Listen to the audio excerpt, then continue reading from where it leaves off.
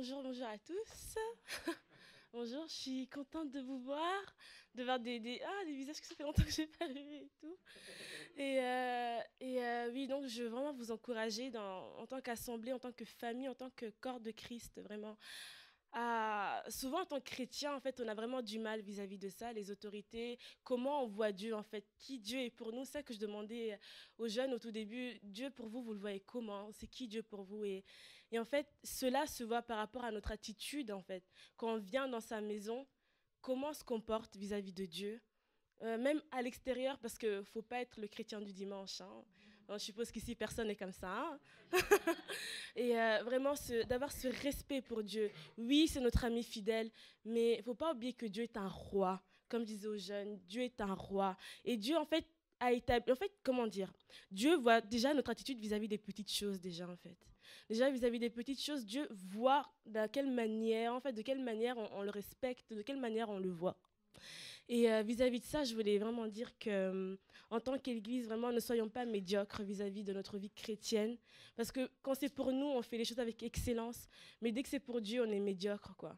On pense que oui, c'est à l'église, bon, vite fait, allez, vas-y, euh, je fais que la petite chose et je m'en vais. Mais dès que c'est pour nous, pour notre travail, pour, pour notre famille, on est prêt vraiment à faire les choses, mais waouh, quoi, 100%.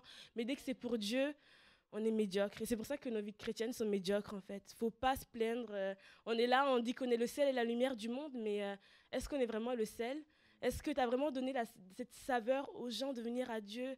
Est-ce que tu as vraiment été cette lumière vis-à-vis des autres pour venir à Dieu quoi? Et euh, donc voilà, comme moi par exemple, le fait que j'ai échoué mes examens la semaine dernière, j'ai pas été le sel ni la lumière du monde. Et je peux même pas permettre de mettre Dieu dedans. Dans ce cas-là, mettez jamais le nom du Dieu dedans, hein, parce que Dieu est excellent. Hein. Quand vous faites des choses qui sont pas excellentes, ne mettez pas Dieu dedans, d'accord? Vraiment, essayez vraiment de faire cet effort de d'être que Dieu soit digne, quoi. Dieu est digne de ça. Dieu est digne que nous soyons excellents dans tout ce que nous faisons. Et, euh, donc voilà, je m'arrête là. Alléluia, gloire à Dieu. Invitez-la à, manger. Elle vous en dira plus. Elle est là pendant encore une semaine. Je suis sûr que ses parents seront heureux que vous l'invitiez à manger. Elle a réellement reçu quelque chose de Dieu.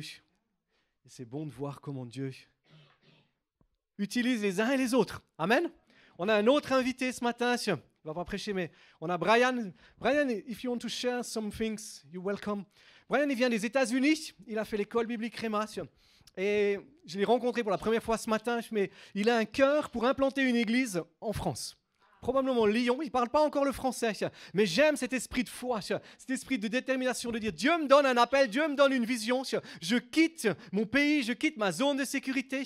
Là pour l'instant il est en Angleterre, c'est comme un petit peu la zone d'espionnage. Hein. Il, est, parti en Angleterre pour venir espionner, et puis il est venu en France quelques jours, et euh, on va manger ensemble à midi, je l'avais l'amené à l'aéroport cet après-midi, puis après on verra qu'est-ce que Dieu va faire avec lui, mais euh, c'est une joie de l'avoir. If you want to share something, welcome.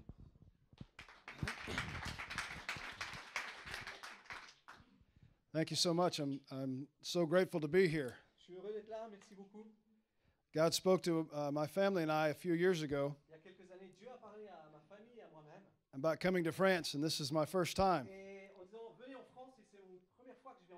So I'm very grateful to be here to worship with you this morning. I apologize for not being able to speak French yet. But I will in Jesus' name. but I've been to three, this is my third service now that I've been to. And so I'm finally understanding some of the worship songs. So this morning I was able to, to worship in French. So I thought. I thought of any words to learn first. The words to give glory to God would be best. I'm so excited to be here this morning and to see what God is doing in France. As I travel the world, it's such an amazing privilege to be able to worship with brothers and sisters who speak all different languages, come from all different places, but we're all going to the same place. Mais on va tous vers le même lieu. Amen. Amen. And there, we will speak the same language. là où on va parler la même langue. So God bless you. Thank you. Soyez bénis, merci. Amen. On a la joie d'avoir Daniel et Marine là aussi. J'aimerais qu'on puisse prier pour eux ce matin. Ils partent dans deux semaines en Roumanie pour un voyage missionnaire, comme d'habitude. hein, J'aimerais dire parce qu'ils ont l'habitude de partir là-bas. Sonia, toi qui connais la Roumanie, puisque tu es allée, est-ce que tu voudrais, est-ce que vous voulez vous lever? Est-ce qu'on peut étendre nos mains vers eux pour les bénir? On veut proclamer la faveur de Dieu. Ils partent à 5 avec leur équipe de base de Genève pour pouvoir continuer d'impacter là où ils ont commencé. Le thème qu'on a ce mois, c'est un thème extraordinaire. Connaître Christ dans sa résurrection. Si on veut vivre l'excellence dont Katusha nous parlait, si on veut être des hommes et des femmes qui, qui vivons la plénitude du royaume de Dieu, qui faisons tout du mieux possible pour Christ, si on veut respecter Christ dans qui il est, dans sa puissance, on a besoin de le connaître dans sa résurrection. La résurrection de Christ, c'est le fondement de nos vies. C'est ce qui, quand on a chanté Alléluia, tu as gagné la victoire. Je suis des fois étonné de voir qu'on arrive à chanter Alléluia, tu as gagné la victoire en restant assis, en gardant nos mains en bas, en gardant nos corps calmes. Se dire, mais Alléluia, tu as gagné la victoire, ça doit générer en nous quelque chose, ça doit booster dans nos vies une réalité extraordinaire. Si on connaît Christ dans sa résurrection, chaque fois qu'on parle de la résurrection de Christ, ça doit animer nos cœurs, ça doit animer nos vies, ça doit nous faire vibrer. C'est le fondement de notre foi. C'est le fondement du christianisme. Pierre va dire quand euh, il prêche la première prédication qu'il fait dans Acte 2, 24, il dit Dieu a ressuscité Jésus en le délivrant des liens de la mort parce qu'il n'était pas possible qu'il soit retenu par elle. Amen. Dieu a ressuscité Jésus en le délivrant des liens de la mort parce qu'il n'était pas possible qu'il soit retenu par elle. Oh, ça vaut un Amen. Ça vaut un cri de joie, un cri de célébration. La résurrection de Christ, ça doit, ça doit booster le cri de victoire dans nos vies. Se dire, mais il est ressuscité, il est vivant. C'est Pâques tous les jours pour nous. C'est pas simplement un jour par année. Tous les jours, c'est Pâques dans nos cœurs, c'est Pâques dans nos vies. Parce qu'il est ressuscité, parce qu'il est vivant, parce qu'il règne. C'est ce qui nous différencie. C'est pour ça qu'on peut dire Mahomet est un faux prophète. C'est pour ça qu'on peut dire le bouddhisme est une fausse religion. C'est pour ça qu'on peut dire que l'hin- l'hindouisme et tous ces, ces faux dieux sont des puissances de ténèbres. Parce qu'ils sont morts, parce qu'ils sont, ils sont plus là. Le seul qui est ressuscité, c'est Jésus. C'est lui qui est le roi de gloire. C'est le seul qui est ressuscité et qui vit encore aujourd'hui. Lazare est ressuscité, Jésus l'a ressuscité, mais quelques années plus tard, il est mort. Mais Jésus est ressuscité et il n'est plus jamais mort. Il est assis à la droite de Dieu. Il juge les vivants et les morts. Et on a besoin de le connaître dans sa résurrection. Je me dis, quand on connaît Christ dans sa résurrection, ça change nos vies, ça change notre manière d'être, ça change tout. C'était le fondement de la vie des, dis- des disciples. C'est le fondement de la prédication des apôtres. C'est le fondement sur lequel on est établi. Paul dit clairement dans 1 Corinthiens 15, 14, il dit, si Christ n'est pas ressuscité, notre prédication est vaine. Si Christ n'était pas ressuscité, aucun d'entre nous serait là. Si Christ n'était pas ressuscité, on serait tous en train de courir vers l'enfer. Mais parce que Christ est ressuscité, il y a un espoir qui est là dans nos cœurs. Parce que Christ est ressuscité, il y a de la vie en nous. Parce que Christ est ressuscité, nos vies courent vers le ciel pour passer l'éternité avec notre Dieu. Pas pour le louer toute l'éternité, parce que je crois qu'on va travailler dans l'éternité. Il y aura des nouveaux cieux, une nouvelle terre. On va, on va être là pour régner avec lui. Amen. Le ciel, c'est pas simplement des harpes d'or avec des chants. Il y a un banquet, et puis après, les nouveaux cieux, la nouvelle terre. Et au boulot, exactement. Dieu a une vision du travail. Dieu a une bonne théologie du travail. Ceux qui attendent le ciel pour se reposer, c'est foutu.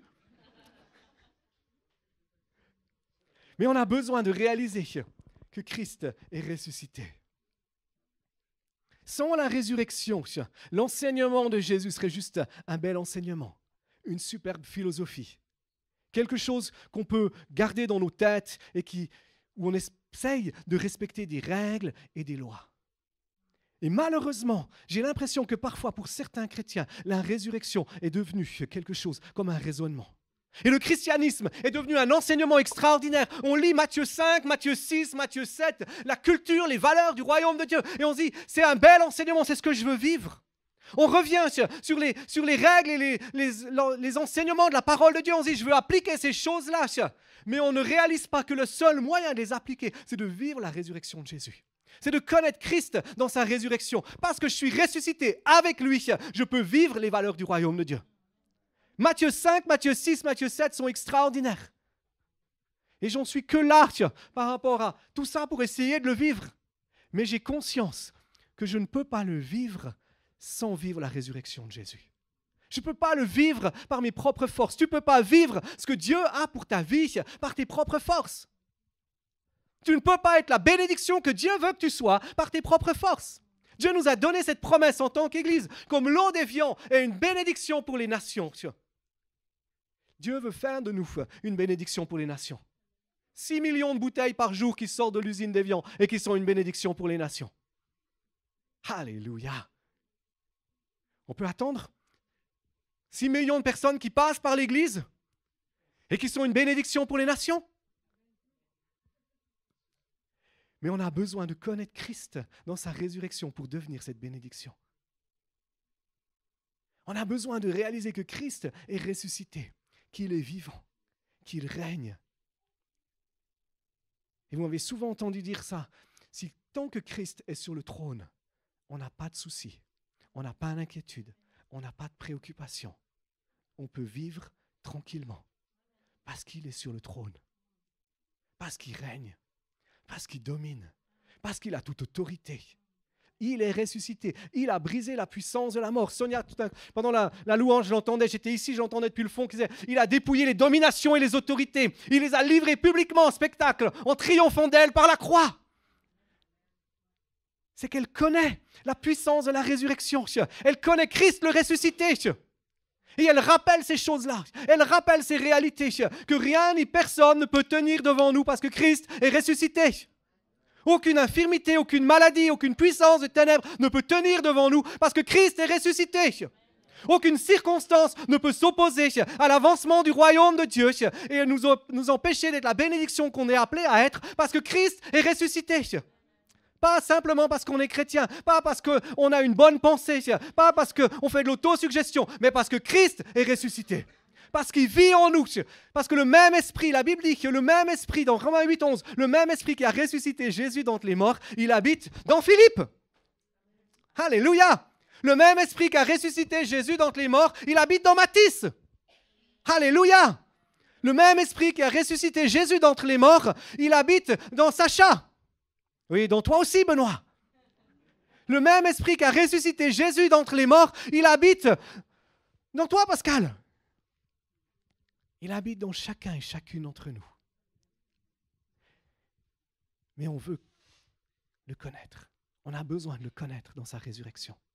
On a besoin de ne pas le connaître de manière intellectuelle, pas le savoir avec nos têtes, avec nos raisonnements, avec notre intelligence, mais de le savoir avec notre cœur et avec notre esprit. C'est intéressant de voir que Jésus, quand il est ressuscité des morts, il a passé 40 jours sur cette terre. Pendant 40 jours, Jésus a passé du temps sur cette terre. Il a marché sur cette terre, il a été visiter ses disciples, il a rencontré les gens dans un seul but. C'était de leur attester et de leur prouver réellement qu'il était ressuscité. Il aurait pu monter au ciel beaucoup plus vite. Je suis sûr qu'il était impatient de monter au ciel. Il disait, yes, j'ai fait ce que j'avais à faire, maintenant j'aimerais remonter vers toi, papa. J'ai envie de monter, papa. Puis le Père lui dit, non, tu restes sur la terre. Il faut que tu imprimes bien dans l'esprit des disciples que tu es ressuscité. Et c'est pour ça qu'il va voir les disciples. Et on peut voir, par exemple, dans Luc 24, 39, il va vers les disciples et dit, c'est moi. C'est mon corps touché. Mets tes mains, mets tes doigts dans les trous. Imaginez.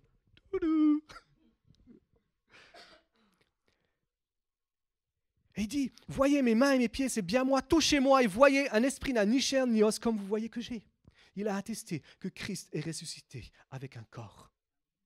Il n'est pas ressuscité en esprit, il est ressuscité avec son corps et il a encore son corps aujourd'hui.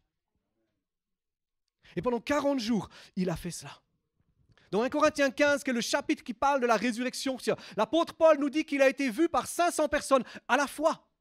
Plus de 500 personnes, 500 frères. Ils oubliaient de compter les femmes à l'époque. Il y en avait trop. Donc ils ont compté les frères, il y en avait 500. Donc vous rajoutez toutes les sœurs. Ça fait un paquet. Et Paul nous dit, il dit très bien que sur ces 500 frères, dont beaucoup sont encore vivants aujourd'hui, plus aujourd'hui maintenant, mais au moment où Paul écrivait, hein, pourquoi? C'est pour attester, pour que les gens qui émettent des doutes sur la résurrection de Jésus, ils puissent aller poser des questions. Ils puissent dire, hé, est-ce que c'est vrai que tu as vu Jésus?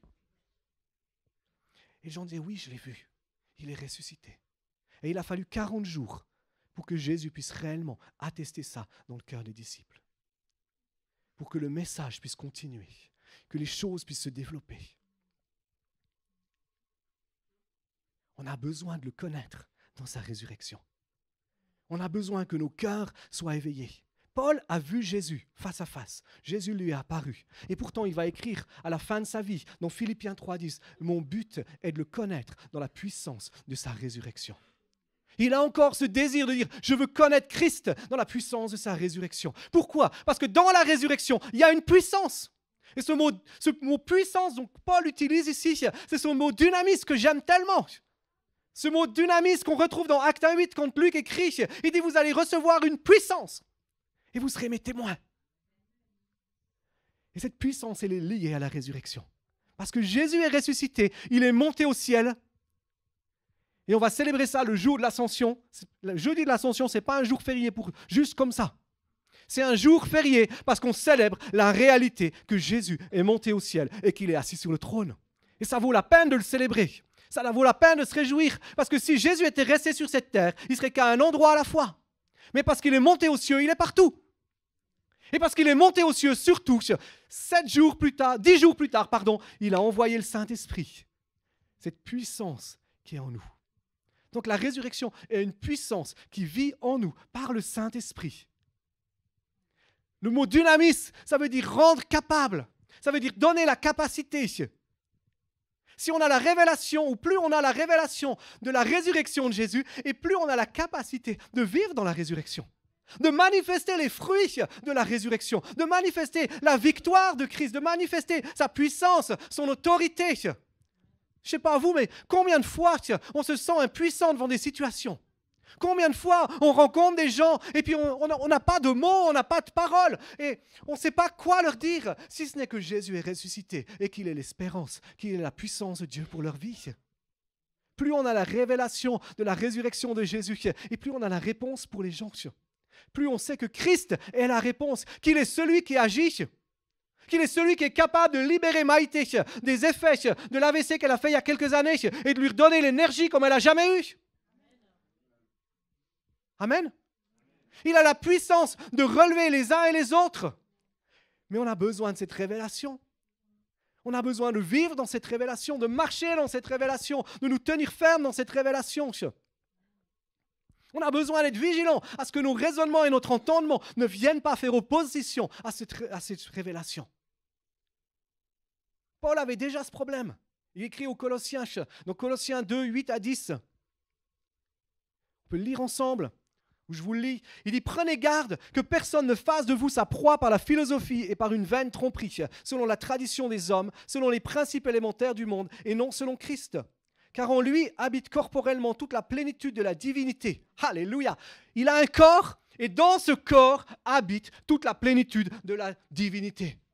C'est exactement ce que je vous disais tout à l'heure. Et vous avez tout pleinement en lui, qui est le chef de toute principauté et de tout pouvoir. Waouh Ça, c'est des paroles puissantes. Ne laissons pas nos raisonnements s'opposer à la révélation de Christ. Ne laissons pas notre entendement s'opposer à la révélation du fait qu'il est ressuscité, qu'il est vivant. On a besoin de théologie, on a besoin de doctrine, on a besoin de mettre notre intelligence fonctionner. Mais ne la laissons pas nier ou douter ou diminuer la puissance de la résurrection. Il est ressuscité, il est vivant, il règne avec gloire, il règne avec autorité, il est le chef de tout pouvoir et de toute autorité. Il a tout dépouillé. Quand il est ressuscité, il a pris toute autorité. Dans Matthieu 28, 20, je crois, il est dit tout, ou 19, il est dit tout pouvoir m'a été donné dans le ciel et sur la terre. Ou 18, c'est tout pouvoir m'a été donné dans le ciel et sur la terre.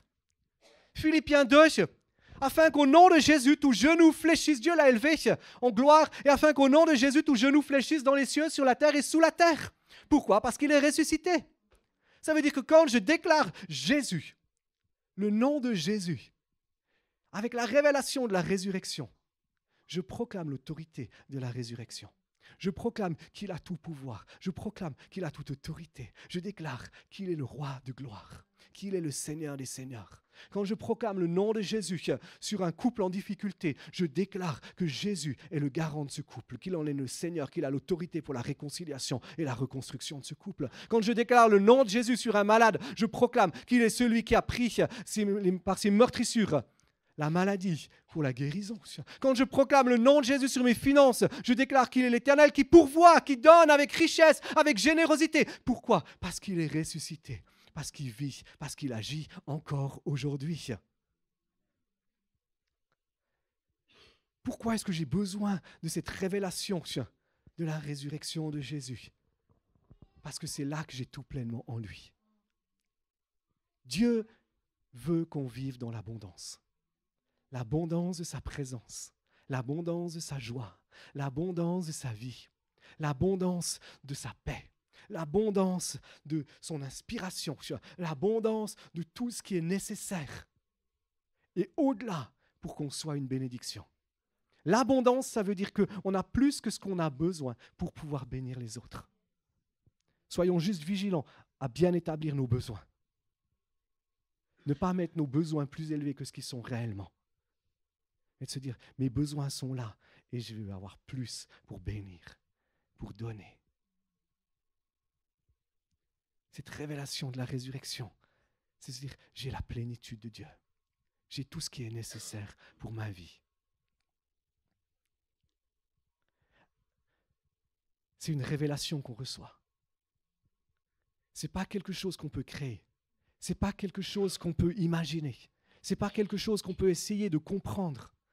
C'est une révélation que le Saint-Esprit libère dans nos cœurs. C'est une révélation que le Saint-Esprit nous donne. La révélation, ça veut dire quoi? Ça veut dire enlever le voile. C'est Dieu enlève le voile. Dieu enlève le voile qui était sur nos cœurs pour nous révéler que Christ est ressuscité. Et tu dis, oui, mais moi je sais qu'il est ressuscité, je le connais. Je veux dire, la puissance de sa résurrection est tellement grande qu'on a encore besoin jusqu'à la fin de nos vies, jusqu'à ce que Jésus vienne nous chercher et nous dise Ok, Eugénie, viens à la maison. Juste, c'est pas encore le moment, hein. Mais jusqu'à ce moment-là, on a besoin d'avoir une révélation, que nos yeux s'ouvrent, que le voile s'enlève de nos, des yeux de notre cœur pour qu'on puisse saisir la puissance et la plénitude de sa résurrection. Dans Matthieu 16, ce passage que vous avez déjà certainement entendu, où Jésus pose une question à ses disciples, il dit, mais qui est-ce que vous dites que je suis? Et puis ils disent, ah, certains disent que tu es un prophète, d'autres disent que tu es un homme de bien, etc.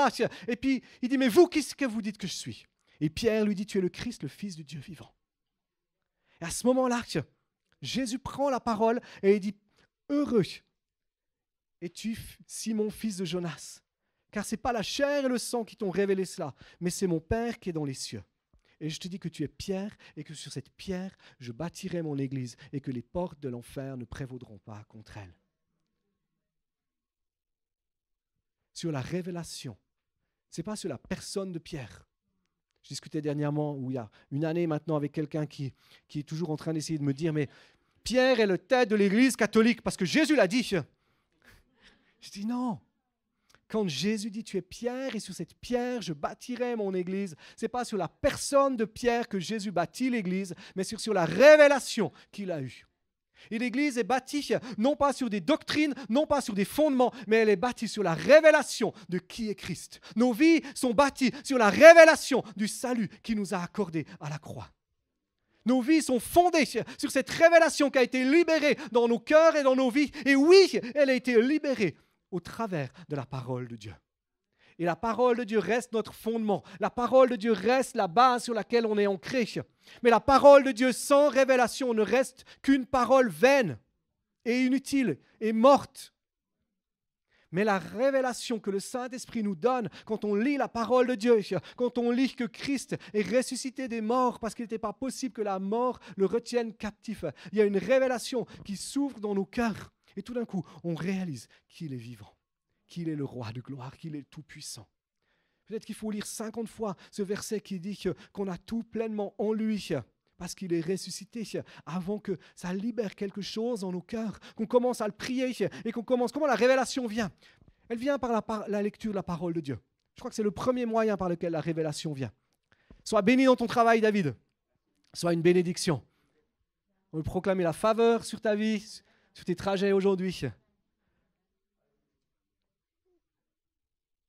Quand on lit la parole de Dieu, ça libère la révélation dans nos cœurs. Elle devient vivante, elle devient agissante. On a besoin de la lire. On n'a pas besoin de la lire simplement pour la lire, mais on a besoin de commencer de la prier. Commencer à prier la parole de Dieu. Seigneur Jésus, merci parce que tu es ressuscité des morts. Seigneur, merci parce que ta parole me dit que j'ai tout pleinement en toi. Et je te louer, parce que je crois que ce tout, c'est tout. J'ai besoin que tu élargisses les yeux de mon cœur. J'ai besoin que tu élargisses mon esprit pour que je puisse recevoir dans mon esprit cette révélation de ce tout pleinement en toi, de ce que ça veut dire.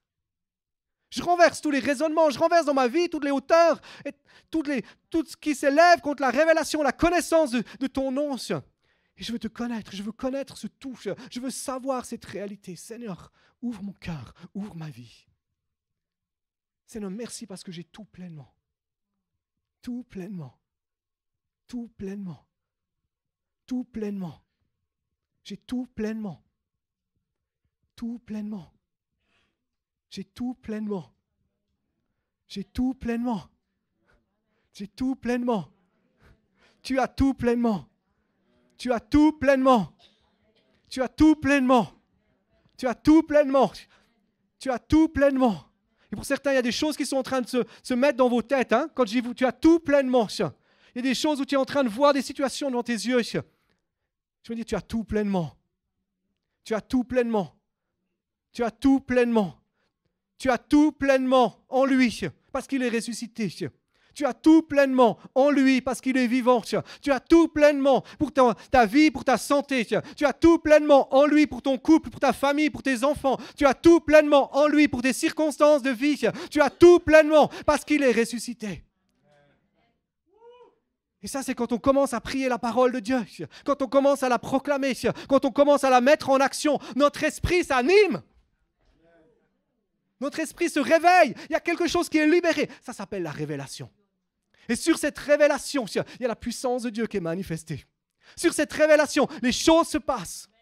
Sur cette révélation, l'Église est bâtie. Jésus dit, je vais bâtir mon Église sur la révélation que tu as que je suis le Christ, le Fils de Dieu vivant.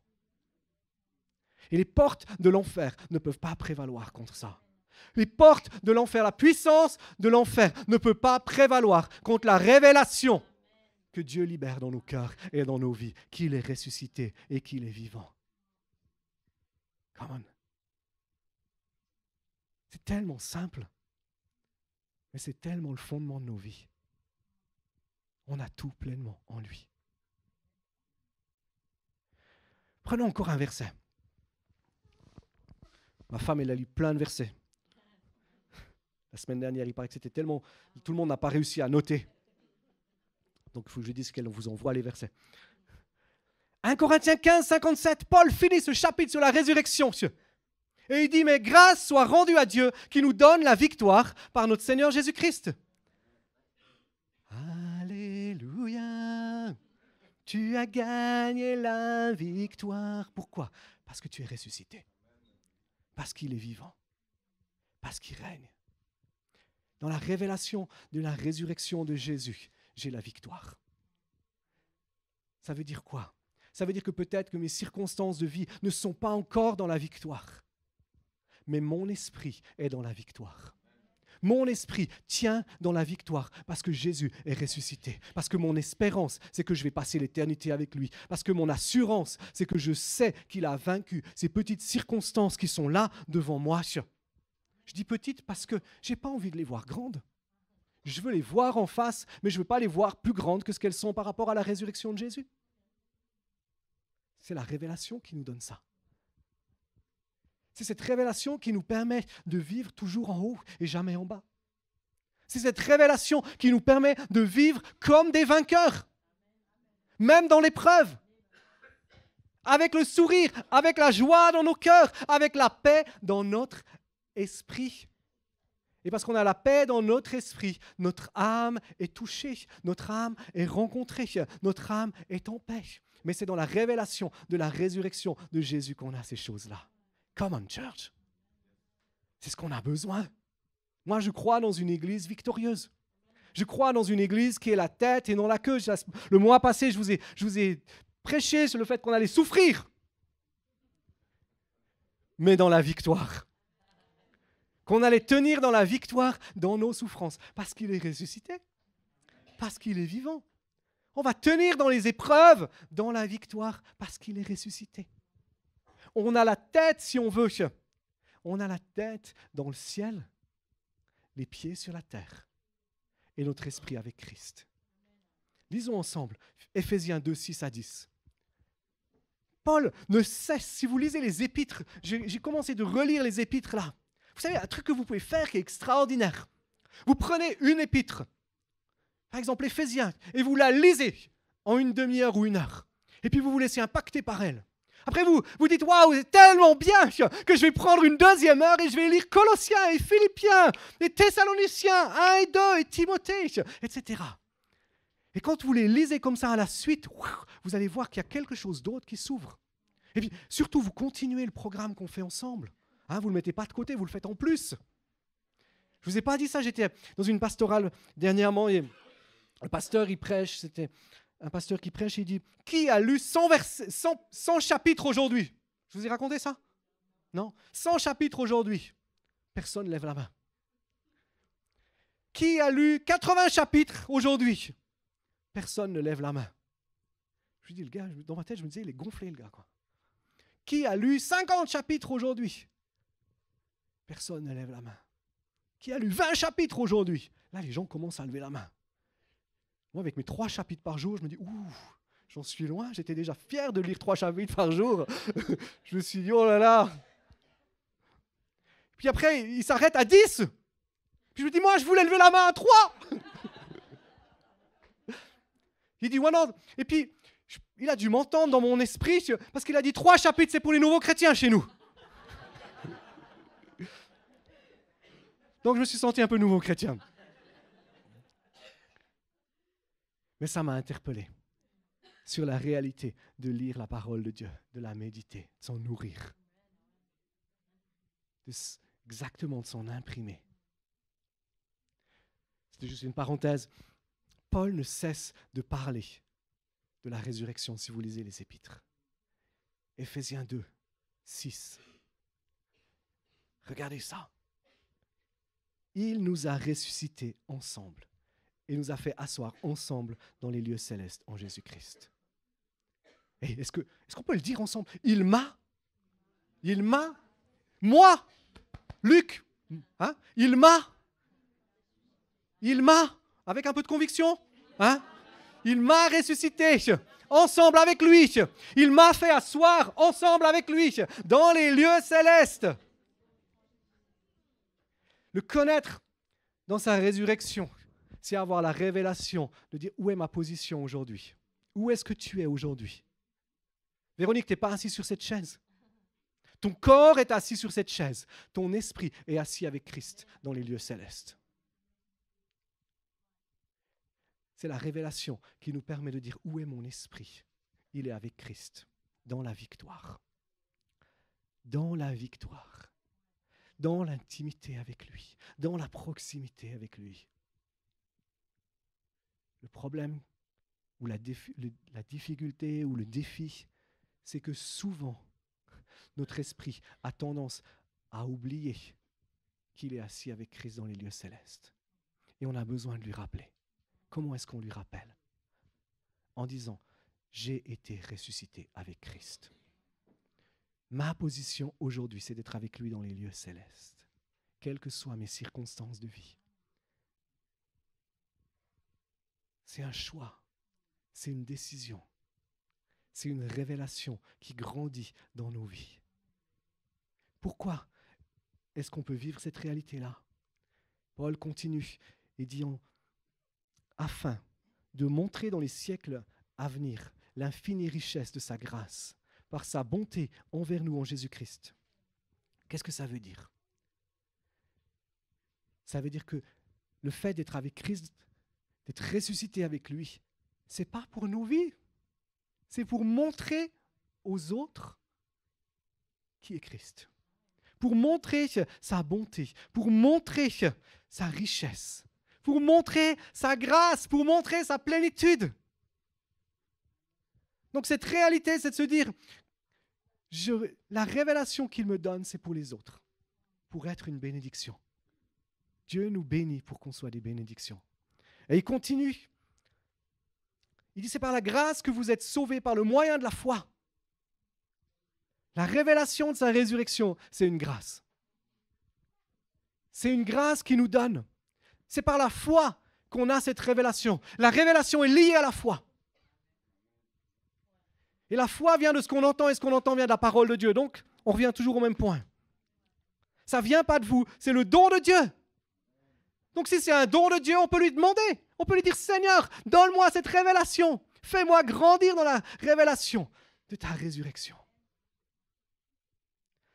C'est pas par les œuvres afin que personne ne se glorifie, car nous sommes son ouvrage, nous avons été créés en lui ou en Jésus-Christ pour de bonnes œuvres que Dieu a préparées d'avance afin qu'on les pratique.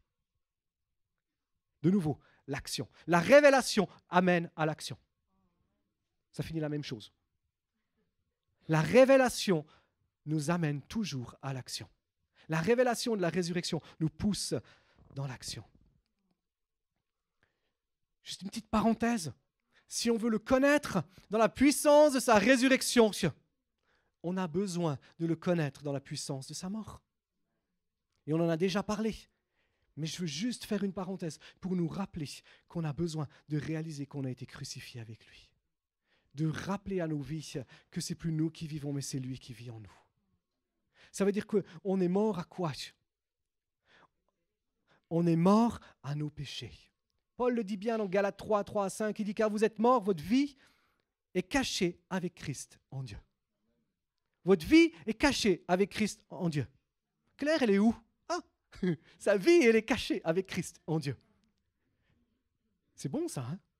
Ça veut dire que nos péchés passés, donc qu'il a pardonnés, nos fautes, nos manquements passés, desquels il nous a libérés, ils sont cachés en Christ, en Dieu. Nos faiblesses sont cachées en Christ, en Dieu. On les sait, elles sont là. Mais c'est là que sa force se manifeste. C'est là que sa présence, sa grâce se manifeste. Quand Christ, votre vie, paraîtra, alors vous paraîtrez aussi avec lui dans la gloire. Faites donc mourir les, membres qui sont sur la terre. Il doit manquer un petit bout là, je crois. L'impudicité, l'impureté, les passions, les mauvais désirs et la cupidité qui est une idolâtrie. Faites mourir. C'est à nous. C'est à nous de dire qu'est-ce qui m'empêche de connaître Christ dans sa résurrection? Où est-ce que j'ai de l'impudicité? Où est-ce que j'ai des mauvaises actions, de l'impureté, des passions, des mauvais désirs, de la cupidité, etc., etc. Il y a d'autres listes à d'autres endroits. Mais c'est faire le choix de dire, je fais mourir ces choses-là.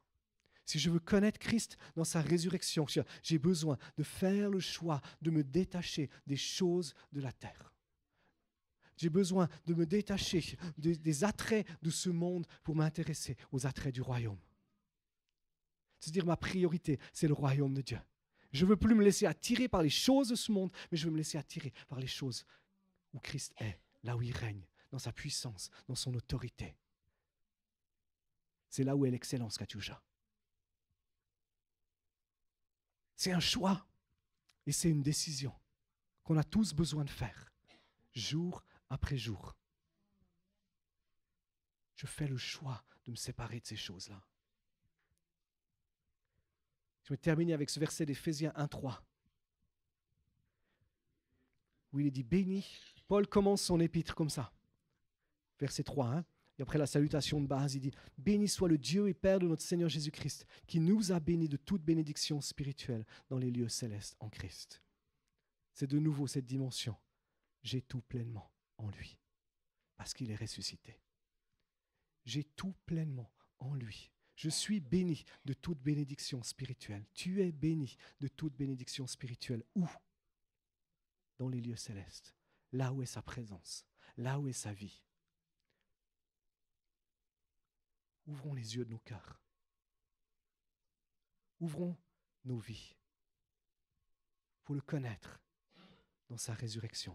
Pour lui dire, Seigneur, mon but est de te connaître dans ta résurrection si on peut juste reprendre ce chant, juste avec la voix d'Adeline. Alléluia. Il a gagné la victoire. T'arrives juste avec ta voix, tu as une voix superbe. Maintenant, ouais. Et si on peut prendre ce chant à capella, fixer nos yeux sur Jésus, attacher nos cœurs à sa présence et lui dire Seigneur, tu sais ce qui t'a parlé. Tu sais ce que Dieu a touché. Je crois que Dieu a touché le cœur de plusieurs ce matin par sa présence. Plusieurs, vous avez été interpellés par ce qu'on a dit. Certains, vous avez été interpellés par ce tout pleinement en lui. Certains, vous êtes encore en train de vous battre dans vos raisonnements. Faites le choix de dire Seigneur, je renverse tout raisonnement, toute hauteur qui s'élève contre la connaissance de Dieu dans ma vie. C'est 2 Corinthiens 10, 5, si tu veux le, le prier avec la Bible. Certains, vous avez besoin de prendre autorité pour renverser des choses qui s'opposent à la révélation dans vos vies.